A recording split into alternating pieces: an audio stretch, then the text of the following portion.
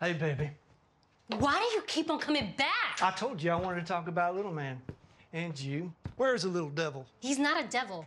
I don't know about that. If David's anything like his mom. Don't say his name. Or you know what? Fine. Why'd you name my son such a stupid name anyway? And what would you prefer, Doug Markham Jr.? The third. I'm a junior. You know what? What am I supposed to tell him?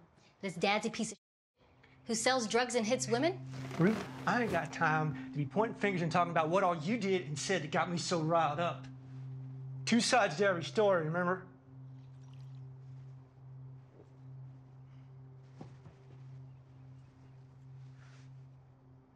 Okay, fine. Stand there.